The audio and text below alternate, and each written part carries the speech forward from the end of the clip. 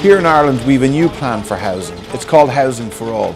And through this plan, we're investing unprecedented levels of funding in more and better homes.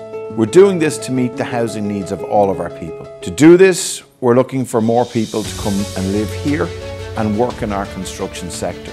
New skills are needed in areas like modern methods of construction and in high energy performance building. In collaboration with the construction industry, the government's providing opportunities for people to upskill or learn new skills entirely. We also need more professionals like planners, architects, engineers and surveyors to help us create dynamic communities. My name is Susie Byrne, I'm from Cork. Before I was in construction, I studied beauty therapy for a year. I struggled to find a job after I finished that course. So a job arose for me on a construction site and I decided to take it for the summer at least. And I was working with the safety officer at the time and I was doing a load of the safety paperwork and I just took to it straight away. I found it very easy. I started studying health and safety and I ended up doing really well in the exams and in the assignments.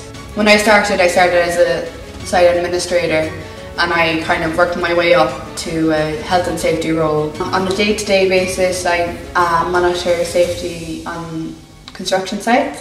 So that would entail 50% um, of my time spent um, walking around site ensuring that the site personnel are adhering to site rules. It's a very rewarding job but it's also a very challenging job. I love that it's like every day is different. Uh, there's plenty of opportunities.